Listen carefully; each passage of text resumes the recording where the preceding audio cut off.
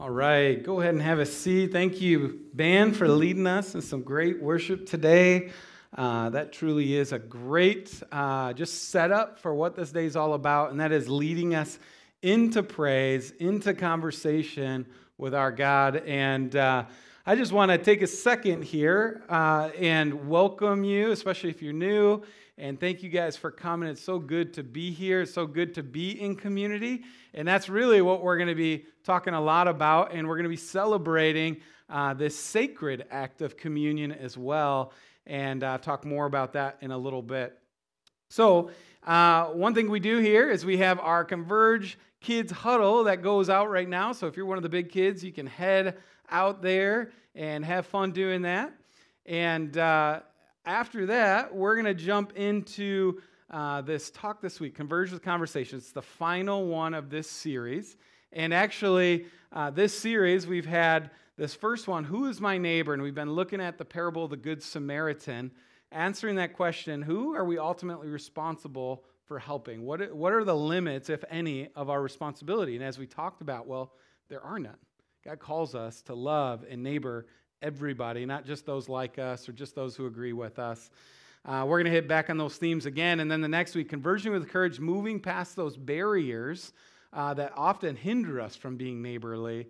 And then last week, you heard from Chad, uh, just converging with compassion and care, specifically uh, that, that parable, that story that Jesus shared in the Good Samaritan and how he acted out of compassion. And what's interesting, he hit it right on the head, Chad did. He said, care comes out of compassion. And that's what we see in the parable is he had compassion and then he acted out in care.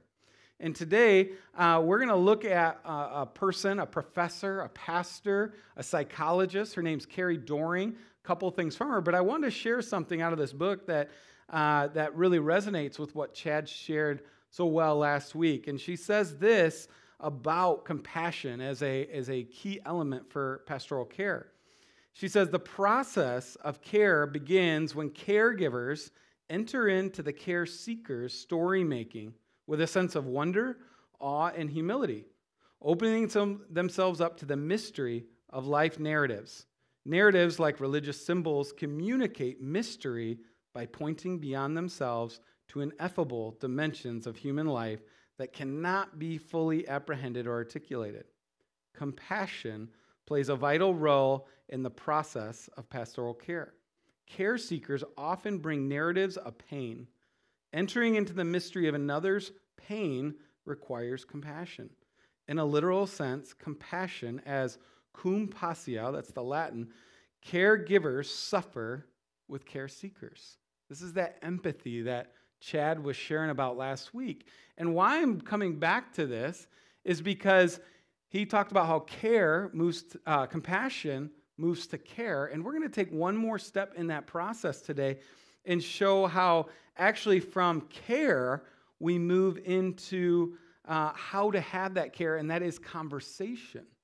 And so we can actually ascertain uh, how to care or actually care by just having conversation with them. And so this quote kind of alludes to that how we enter into their story, enter into their story, enter into their narrative, and how it communicates that compassion and care. But we're going to look at some other stuff from her in a second. But what I wanted to do is set this up this way so you see where we're going, and then revisit the parable of the Good Samaritan story. Now, this is our fourth week in the parable of the Good Samaritan. And I hope you're not thinking, oh, Mitch, just move on already. We've been in this for four weeks. And actually, what I'm hoping you're seeing is how much depth are in just 12 verses. And it's not just true of this passage, this is true of so many other passages throughout the Bible that we can spend four weeks on 12 verses and pull different things out of it each week that really help us, in this case, to be neighborly. And so I'm going to read that for more or less sake of review. So we hear it one last time. This is our final week. And uh, obviously, I'm going to tie in how this uh, compassion and care moves into conversation later. So let's go ahead and read that. It says, Now an expert in religious law stood up to test Jesus, saying, Teacher, what must I do to inherit eternal life? He said to him, What is written in the law? How do you understand it? The expert answered, Love the Lord your God with all your heart, with all your soul, and with all your strength, and with all your mind, and love your neighbor as yourself. Jesus said to him, You've answered correctly. Do this, and you will live. But the expert, wanting to justify himself, said to Jesus, And who is my neighbor? Jesus replied, A man was going down from Jerusalem to Jericho and fell into the hands of robbers who stripped him, beat him up, and went off, leaving him half dead. Now, by chance, a priest was going down that road, but when he saw the injured man, he passed, he passed by on the other side. So too a Levite, when he came up to that place, saw him pass by on the other side. But a Samaritan who was traveling came to where the injured man was, and when he saw him, he felt compassion for him. He went up to him and bandaged his wounds, pouring oil and wine on them. Then he put uh, him on his own animal, brought him into an inn, and took care of him. The next day, he took out two silver coins and gave them to the innkeeper, saying, Take care of him. Whatever else you spend, I will repay you when I come back. Which of these three do you think became a neighbor to the man who fell into the robbers? This is Jesus asking this question. The expert in religious law said, The one who showed mercy to him. So Jesus said to him, Go and do the same. And I love this. We've talked all about the story. It's such a revolutionary story, so much to the point that not just church people know this story. Many, many people just in our world, in our, in, in our culture, know this story because it's so powerful. And what I love about this is we've talked about how Jesus points to compassion and care as kind of this benchmark of being neighborly, and not just to the people like you, the Levite and the, and the uh, priest, but as we talked about in week one, actually challenging those boundaries. That person who may be unclean or uh, is inconvenient in your timing, or even the Samaritan, the way he turns that question, which would be a bitter rival to this guy he's talking to. But what I love about this and what's interesting is that Jesus is using the power of story and narrative to actually provide pastoral care to this legal expert. You don't realize it, but he's actually, it says he's trying to test him, and I believe that's true. He's probably got some opinions about Jesus, but Jesus sets this up perfectly, asking him questions. We're going to dig into this, and we find out that his big concern is about his spiritual mortality. He's not sure, do I have eternal life or not? And he answers the question. Jesus says, Yep, you got it. But then he, he gets to the heart of the question, but who's my neighbor? He is really concerned for his spiritual well being. He really wants to make sure am I going to heaven or am I not going to heaven? And he was legitimately stressing over this. And Jesus uses the power of story here to actually uh, minister to him, to care for his soul. So, what's cool about this is that, like we said, uh, Jesus was suggesting to him something different than he'd been hearing. Remember, he'd been taught that basically you just take care of your own people and you're good. You don't have to do anything else. And Jesus has been challenging that view. And then uh, he knew this guy was upset with him and trying to trap him, but ultimately, Jesus knew that the way to influence this guy's soul was not with aggression or shame. He just starts asking him questions, and eh, that's the, the interesting thing about this. He could have went in there and just taken shots and said, "Nope, this, this, this, this, this," but he he answers a, asks a question that he probably knows the answer to. And by him answering correctly, Jesus is able to say, Yeah, that's right. He's affirming him in his, in, in his knowledge and, and what's going on. And what that does, it instantly builds trust in that relationship. And then what happens? Jesus has this interaction with him, then he digs a little bit further. But who's my neighbor? That trust caused him to ask the next question, which was actually more important to him, is actually who is who am I responsible for caring for in this at this time? And uh, when he gets done with this, Jesus doesn't say, go do X, Y, and Z again. He just asks another question Who is the one who is being a neighbor? Again, asking questions. This guy answers, comes to his own meaning, his own understanding in this thing, and basically answers Jesus' question. All Jesus has to say is, You should go do that. And this is just amazing and profound how he moves him through this. And why I mention this psychologist, this pastor, she says in this book about pastoral care, and it's a longer quote, some chunks, but I want you to see how important this power of conversation is. This is a psychologist writing prescriptive methodology on how to care for people's souls. And this is what she says. She says, Stories allow people to lament with each other express anger, and question all they know about life without imposing meanings prematurely. In the process of telling stories, people become authors, instinctively finding a story's beginning and climax and imagining various endings. When pastoral care is experienced as a narrative, it becomes more relational and communal. A narrative approach is first and foremost about trust. The more people trust pastoral caregivers, the more they will entrust them with the bits and pieces of their stories, especially the undigested emotional reiterations of trauma. They will invite us into the chaos. She goes on to say a narrative approach is second, that was the first most important part, is about finding meanings and practices formed in the crucible of stress, suffering, and joy. Sometimes well meaning pastoral caregivers move prematurely to making sense of a care seeker story by deductively applying theological themes that are important to them, not the person seeking care. Third, and this is the third and last, and this is important. She says a narrative approach is about assessment, comparing theological meanings that emerge from care conversations with historical, biblical, sacred, textual, and global theologies referenced prematurely or deductively, like she mentions the previous paragraph, historical and contemporary theologies will close down emotional and spiritual struggles at the boundaries of known and unknown. Such struggles often decenter care seekers because their suffering calls into question ultimate beliefs and sacred values. A compassionate and respectful care relationship can provide a trustworthy space for exploring new meanings. I know that's a mouthful there. This is a professor, so you're getting some of that. But I hope you can see what's happening here. She's saying the beauty of using story and narrative, not only entering into a conversation with your story and narrative, but like Jesus, he pulls a neutral scenario here, a parable, and allows this guy to go into that story without this accusing tone on his shoulders. It's just some Levite, some priest that make a bad move, and he gets to start deducing meaning on his own. And like she says, it allows him to go into that story, to find its climax, to think about alternate endings, to imagine what could be and what meanings are there without Jesus imposing it on him necessarily, even though Jesus could have easily gave him a straightforward uh, truth comment. He didn't do that. And then what I like about this too is she warns about preemptively imposing theological positions on people.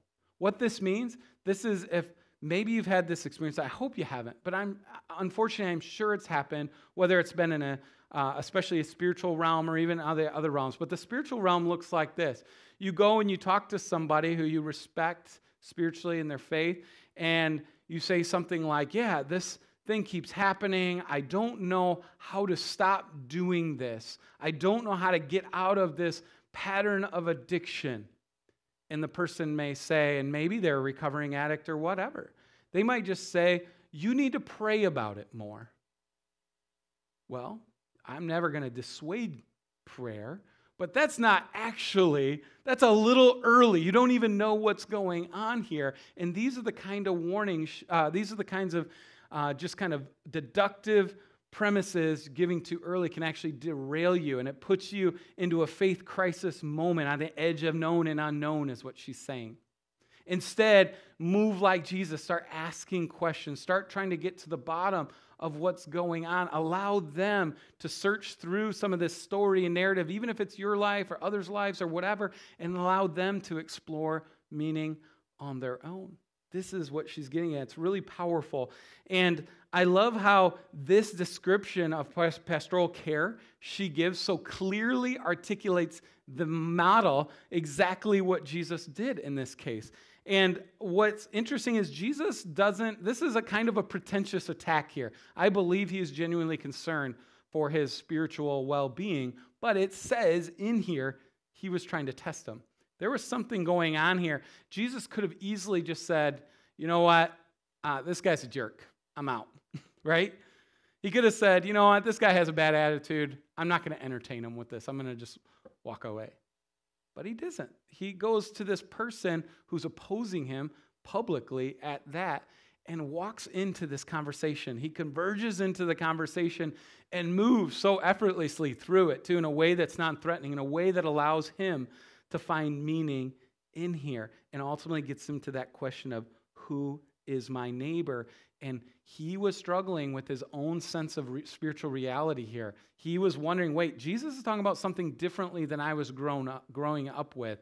And he was unsure about that. And Jesus walks him through in such a way that he was able to explore meaning in this within his own religious paradigm of saying, oh, okay, I, I'm starting to understand what's going on here. I'm starting to see it's not just the people who look like me and think like me that I need to help, but it's everybody. It's everybody. And he does that. He gets through that process. Ultimately, Jesus used conversation to provide care, meaning, and direction to this antagonistic person in his life. And why I'm getting and pulling this out, why I've used this Carrie Doehring stuff, is because I want you to see that what Jesus did, uh, he did without taking a psychology class or a psychology textbook. This is not just intuitive to Jesus because he's a smart, clever leader. This is intuitive to Jesus because he created humanity and he understands what makes us tick. And he understands how we need to move this, uh, how we need to move somebody into the direction of spiritual care and into salvation. And I just think it's incredible. And I share that not to just toot Jesus' horn, although I think it should be. I share that because I want anybody in here is really wondering what is this Jesus guy? all about? Is he just this clever guy or what? This is somebody who is living out an example that literally people are writing prescriptive methodology and psychology exactly the way he did it today. To me, that's incredible. This guy's a, a wizard. Really, I mean, he's not really, he's a God, but he's, he's awesome, and I want you to see that. I want to bring that to light here. This is really important. Okay, I'm going to show you another example. This is kind of an example of Jesus who is in a caregiving situation. Jesus, who's on a being kind of on a, uh, uh, being attacked or at least confronted by an individual. I want to give you an instance that looks a little bit different. Uh, it's, it's more of a corporate imposition of influence, if you will. It's kind of a systemic influence on people. And what do you do more from the vantage point of a care seeker? If you're needing care, what do you do? And so, where we get this is in the Apostle Paul. This was a leader in the early church. He had this radical conversion. He was killing Christians, has this radical conversion, and now all of a sudden, he's starting churches left and right in Asia Minor and Europe. Literally, starting churches everywhere. And uh, he's in prison in Rome now, and he's writing this letter to the church in Colossae, which is in modern day Turkey. And now I've been there, it's just a big hill. That's all it is now. It's all under, underground. These days, they haven't really excavated it much. Uh, but he's writing to us primarily uh, Gentile, meaning non Jewish backgrounds, and primarily, obviously, Roman influence there. And what's happening is his good buddy, Paul's Epaphras, is another pastor. Epaphras actually planted this church. He met Paul in Ephesus, which is about a couple hundred miles away through the mountains. He planted this church in Colossae. Now Epaphras is in prison for the gospel. They're in prison together in Rome. Epaphras is getting reports from Colossae. Epaphras is telling Paul, and he's like, he's never even been there before. He's like, man, I feel so bad for these people. Like, they're being oppressed, not just Roman persecution in general, that's kind of the influence that Paul is getting in Epaphras in prison, but there's this group, they call them the Judaizers, people who are trying to impose kind of uh, going to back to the old ways and Jewish restrictions back on these Christians, and basically saying, if you don't do this, you're, you don't have salvation. And so they're feeling more this corporate uh, oppression or influence over them, this whole church in Colossae. And Paul writes this letter, which is really an encouragement to them and a manifesto on God's grace. And basically saying, you don't have to do all these things. God just wants you to experience the grace that comes from believing in his son Jesus, who came and died for your sins. You don't have to do all those other things. And in the end of this letter, he writes this.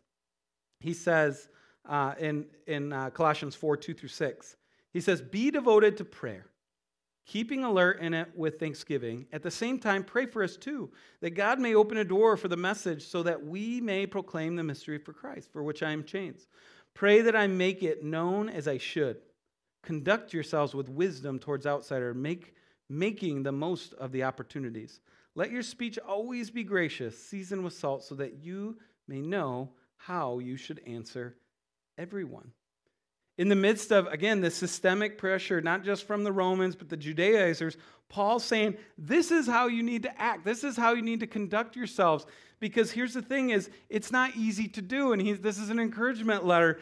And he says, first, you need to conduct yourselves with wisdom towards outsiders. He's not saying avoid all outsiders. He's not saying put up walls and block outsiders from influencing you. He's saying conduct yourselves with wisdom towards them. He's encouraging them to engage in with those conversations with them. He's saying, hey, I get it. You're not quite sure how to handle some of these situations. Use your best judgment to gauge their intentions. Well, how do you gauge intentions? You talk to them. How in the world do you know somebody's intentions without talking to them? He's pushing them into conversation with the very people that are opposing them and trying to oppress them to some extent. And then he says you also have to make the most of the opportunities. He's saying, hey, look at it may not be the thing you hope for or imagined in your life, but this is an opportunity. Make the most of it. Paul's actually sharing about, he's saying, first, pray for me, pray for Epaphras. We're in prison. Pray that the door to the gospel will be opened. He's not saying pray to get me out necessarily. He's just praying for opportunities for that gospel to be open. In the same way, he's saying, I get it, it stinks, but make the most of the opportunities. There might be something, there might be somebody that actually is looking for a conversation that could change their lives if you're just aware and open to what God's doing in that moment. And then lastly, he says, speak with grace and salt. And what does he move that? I think you have a good sense of when you say speak with grace, speak with love, speak with compassion. Imagine yourself in a terrible position and speak to them with that same kind of uh, sensitivity, knowing you've been there too. But what does he mean when he says go with grace and salt? And salt, and maybe you guys have heard this, salt was a very important spice season in this culture, it not only brought really good taste to things, but it also was a preservation seasoning. And he's saying, use, use this uh, tone, this candor to your voice, to your words, that people actually taste something. There's something there that's uh, uh, just gratifying. There's something there that you want. There's something there that's memorable. And I wonder even if that salt and that preservation piece, if he's saying, make sure that when you speak, make sure it's something that they're going to remember. Make sure it's something that's going to last, not shallow, empty words. He didn't say vinegar. Vinegar is really common at that time. Have you? Do you got some of you guys like vinegar? I like vinegar actually, uh, but it is quite pungent, and for most people, it's quite off-putting. And I just think it's interesting he didn't say vinegar there. You know, he could have. He's trying to say salt doesn't mean bitter. Salt means memorable and, and desirable to that. Uh, so I want you to understand that. But Paul's saying converge with conversation even when it's difficult, even when you don't want to, and quite frankly, even when it's easier to just give in to those pressures or isolate yourself from those pressures. And he's ultimately wanting you to be about uh, uh, intentional with the conversations and pushing them to be thankful for what they have and go to ha- and going to have these conversations. He's telling them converge with conversation for the sake of God and the people. And I've talked about this. Paul is trying to set the example of I get life isn't perfect, but you have opportunities to proclaim the goodness of Jesus to these people. So take advantage of it. Go for it. I'm trying to do it as well, Paul's basically saying. I want you to do it. Lean into these conversations. because ultimately he knows that it's way too easy to cede to these outside pressures and just give in or to run from them or isolate yourselves from them. And he's saying you have to go engage these people. You have to have the right conversations with these people. What does this mean for us? Again, we have two scenarios here in these passages. We have an individual coming to Jesus who's pretty antagonistic towards him and his views. So we probably have people like that in our lives that are just an individual that you feel is antagonistic towards you and you're not sure why. It could be about religion, it could be about life philosophy, it could be about parenting, it could be about work. I mean, you just don't know. There's a million things people can be mad at us for. And there's plenty of things to get mad at each other for right now, unfortunately. The other one is, again, the systemic or corporate pressure uh, of like a, a bigger group trying to change your opinions or change your views. And what I want you to see is that he's not, we, we don't see this response in either of these scenarios from Jesus or the Colossians or Paul instructing the Colossians in this. We don't see them saying, attack, harm them, hate them. That's not anywhere in here. And unfortunately, when we get in these instances where we're feeling some of that pressure, whether it's from an individual or a, a kind of a corporate sense, one of our tendencies is to attack, to fight back, to shame them, to try to regain power in that relationship.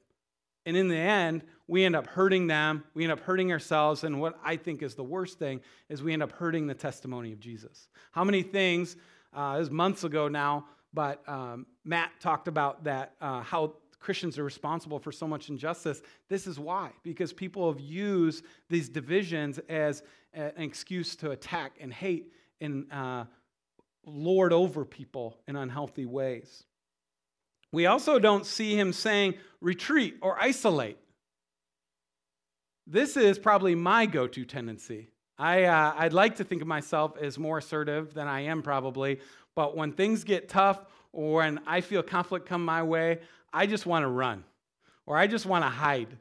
And he's not saying that either. He's saying for both, we see the example of Jesus pushing back in against this, not against them, but into that conflict. And we hear Paul instructing the Colossians to lean into that conflict.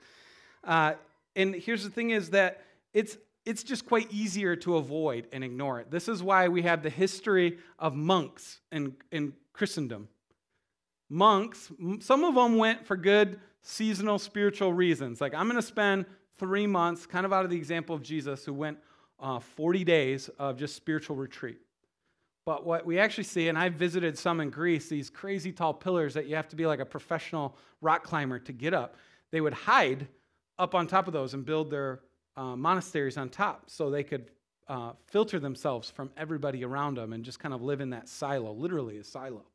That's not healthy either, but it's a natural impulse in each of us. He's also not saying, uh, he's not saying that we could, uh, we should cancel them. Let's see where I'm at here. Yeah. Losing track of my notes here. Yeah, we're not, he's saying we shouldn't cancel them in our lives either. And this is something that I think all of us are seeing more and more in the culture today. There's a phrase for it, cancel culture. And it's the idea of when I see somebody that disagrees or I hear from enough, you know what? Unfollow. I'm done listening to you. You're gone. You're out of my life. In some extreme situations, you're literally out of my life. I'm going to erase you and your existence from my life.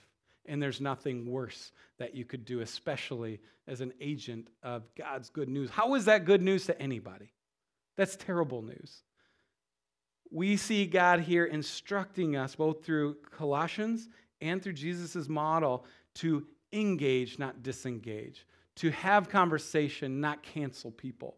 And I, I saw an article this week uh, posted in Gospel Coalition, and they told this story about Herman Bavinck. And you guys may not know who he is, but he was a Dutch theologian from the late seven, uh, 1800s uh, to the early 1920s. And I had to read his, he has four volumes of systematic theologies, and I had to read them all in seminary. They're translated from the Dutch, and they would stack about this tall. And they were not light reading. It was one of the hardest assignments I had.